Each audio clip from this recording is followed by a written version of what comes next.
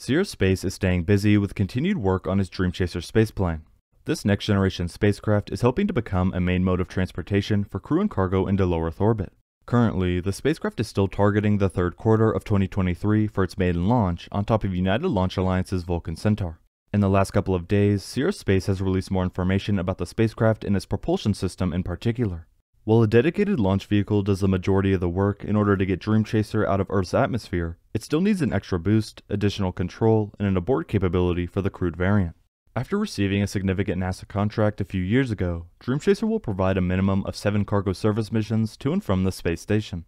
This comes in addition to even more ambitious crewed launches expected to happen around 2025, all of which depends on the spacecraft's upcoming launch not far away. Here I'll go more in depth into Dream Chaser's progress, its propulsion system, what to expect in the future, and more.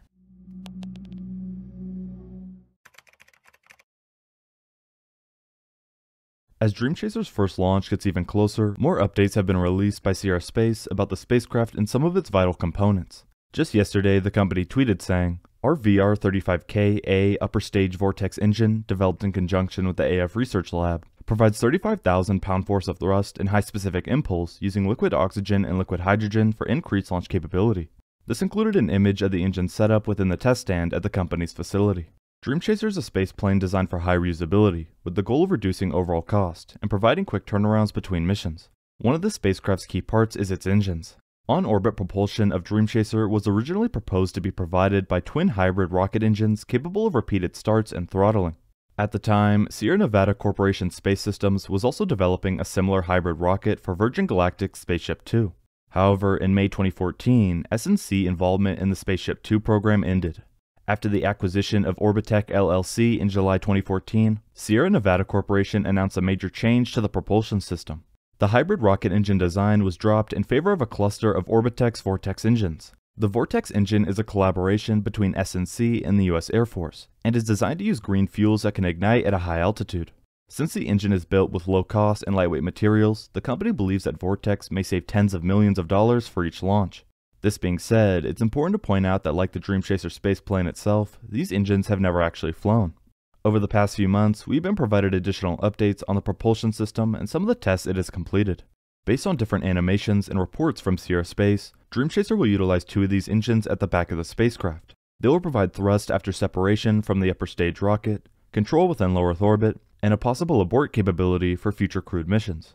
As partially mentioned prior, under NASA's Commercial Resupply Services 2 or CRS-2 contract, Dream Chaser will provide a minimum of 7 cargo service missions to and from the space station. Dream Chaser was originally designed as a crewed spaceplane, in part under NASA's Commercial Crew Program. In this case, capable of carrying up to 7 astronauts to and from the space station and other low Earth orbit destinations. Before these crewed missions can happen, multiple uncrewed launches need to be successful first. As for size, Dream Chaser is 30 feet or 9 meters long, roughly one-fourth the total length of the Space Shuttle orbiters. It's also important to point out the multiple Dream Chaser test articles currently in production. The main test article is named Tenacity, which has the most progress completed and is going to be the first one launched. However, Sierra Space recently revealed a second test article not long ago. Back on August 30th, they tweeted highlighting, and then there were two. This included an image of a brand new Dream Chaser test article beginning various work. By now, a few months later, it has most definitely made some significant progress toward becoming space ready. Now that we know more about Dream Chaser's engines and some of the progress Sierra Space has made, we can take a closer look at the rocket's upcoming launch, the spacecraft itself, and more. As of right now, the first Dream Chaser test article named Tenacity is still scheduled to lift off in the third quarter of 2023 on top of ULA's Vulcan Centaur. This is an uncrewed mission to the ISS with supplies that will also mark a major milestone for the company. Due to the fact that there is no crew, Dream Chaser Tenacity will launch within Vulcan's fairings, with its wings folded in. In the distant future on crewed missions, Dream Chaser will launch without a fairing to facilitate an abort capability if something were to go wrong during the launch. As for ULA's progress, Vulcan's maiden flight is set to happen in only a few months. This is quite significant in regard to Dream Chaser because the results of this initial mission will have a direct effect on the spaceplane. Currently, both BE-4 engines from Blue Origin have been installed, and now the launch vehicle is only days away from being transported to the launch site. Once at the Cape, Vulcan will undergo a final series of tests to verify its readiness for flight, consisting of multiple tanking tests and a wet dress rehearsal, culminating in flight readiness firing later this month, which will be the final step prior to launch. Following the successful final testing, Astrobotic and the other payloads will be installed on the launch vehicle. Overall, it has been a very long journey for Dream Chaser, which was publicly announced on September 20th, 2004. For almost two decades, work has been made on this spaceplane, hoping to change the way we access space. On the upcoming mission, it will carry 5,500 kilograms of critical supplies such as food, water, and science experiments to astronauts aboard the ISS. It then departs with waste from the ISS, which burns up upon re-entry into the atmosphere in the Shooting Star transport vehicle. Dream Chaser then returns to Earth with a gentle runway landing, after which it is prepared for its next mission. Shooting Star adds a service for NASA to send additional critical science, food, and cargo to the space station. Crews can access the Shooting Star via the aft hatch, berthing to the space station. Traveling through the Shooting Star takes them to the forward position where they can open the hatch and gain access to Dream Chaser. When attached to the space station, Shooting Star provides a normal cabin environment for astronauts to work, and a prime location for cargo to be removed and placed onto the station after berthing.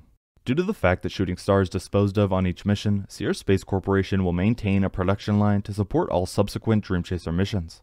The company highlights that the Dream Chaser spaceplane is a multi-mission vehicle capable of supporting a variety of LEO needs. It can be customized for both domestic and international customers via vehicle configuration, launch site, destination, landing site, duration, and a host of other variables. For example, Sierra Space has entered into agreements with multiple international space agencies. Together, they are developing technologies, applications, and missions for Dream Chaser-based space systems.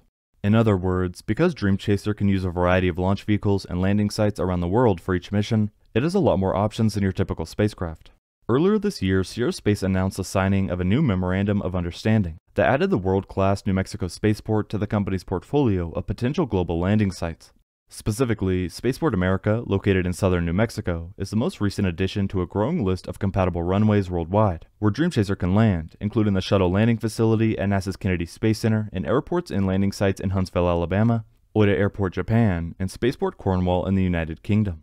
The new MOU outlines the two organizations' mutual pursuit to increase Spaceport America's capabilities and demand for Dream Chaser reentry at the spaceport. As a result, in line with their shared vision, both parties will pursue a Part 433 Reentry Site Operator's License for Spaceport America from the Federal Aviation Administration. Sierra Space has its hands full with the first launch of Dream Chaser right around the corner.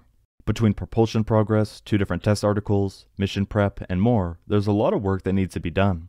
However, the company is working hard and is confident this spacecraft will change the way we access space. We will have to wait and see how it progresses and the impact it has on the space industry. Thank you very much for watching.